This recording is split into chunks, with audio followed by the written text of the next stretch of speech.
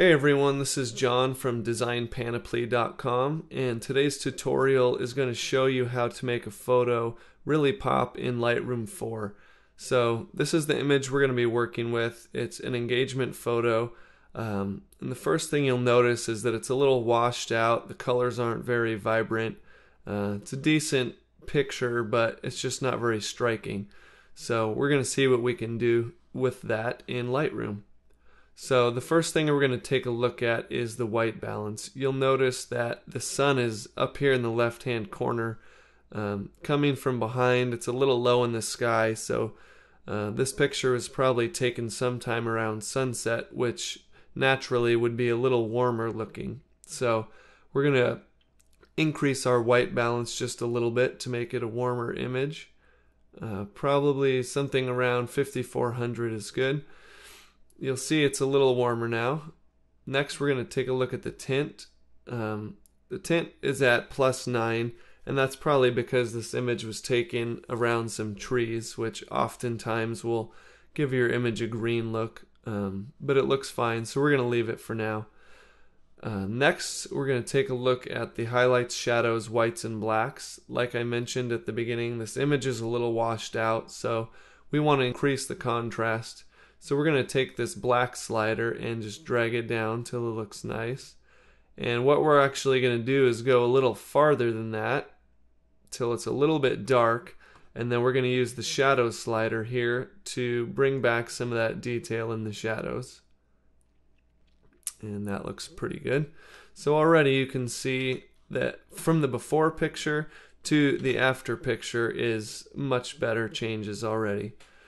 Um, I'm also going to take the highlight slider and drag it down just a bit to bring back some details in the blown out parts of this image. Next, we're going to go to the clarity slider, which uh, it'll give your image kind of a sharper look, but what it does is increases the local contrast between dark and light areas.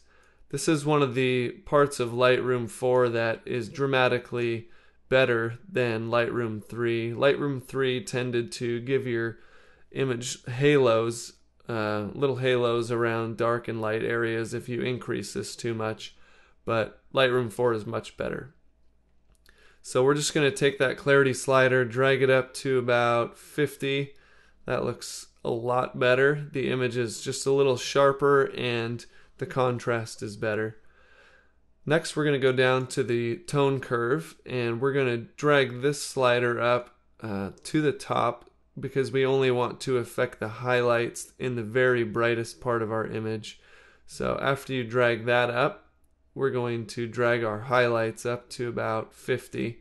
And what this does is brightens all the highlights in the brightest parts of the image without affecting uh, any of the rest of it. We're also going to change the point curve from linear to medium contrast to just give a little better contrast throughout the image. Next we'll head down to the detail panel and increase the sharpening just a bit from 25 which is the default to about 90 uh, just to make the image a little sharper.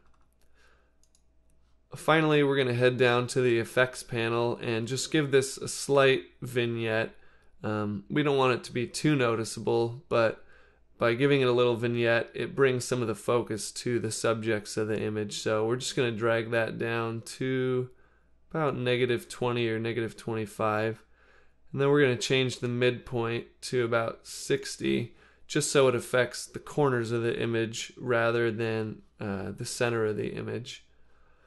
Now, again, you can see the before picture here, it's washed out um, just not very vibrant. And so far, this is our image here. There's just one more step that I want to show you that I do on a lot of my images that seems to give them more life and just gives them that extra touch. So first we're going to take the exposure down to negative 0.5 and you'll notice that the image is a little dark now. So what we're going to do to bring the couple back uh, up to the proper exposure is go to our adjustment brush and we're just going to paint a mask on this couple.